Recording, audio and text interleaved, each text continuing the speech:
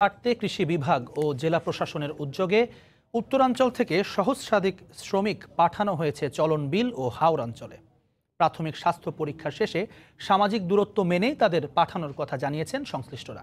Reporter ও জেলা প্রতিনিধিদের পাঠানো তথ্য ছবি নিয়ে রিপোর্ট।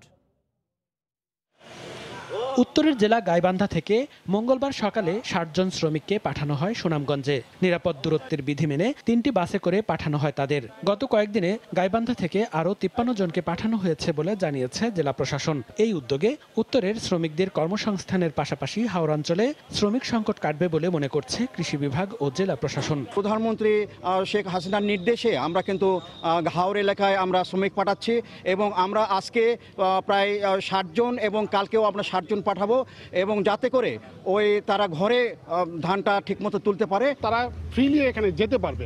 এবং শুধু তাই নয় আমরা ওইখানকার সুনামগঞ্জের ডিসির সাথে কথা বলেছি। ডিসি সাহেবও আমার সাথে কথা বলেছে এবং তারা গিয়ে এখানে যে থাকবে থাকার জন্য তারা স্কুল করেছে ওইখানে থাকবে। এবং থাকার পরে তারা যখন আসবে আমার সাথে কথা হয়েছে তারা যেন ওইখান থেকেও তারা বাসে করে এখানে পাঠিয়ে দেবে। এদিকে রাজশাহীর চারঘাট ও বাঘা উপজেলা থেকে বোরো ধান কাটতে পঞ্চাশটি দলে প্রায় এগারোশো শ্রমিক গেছে।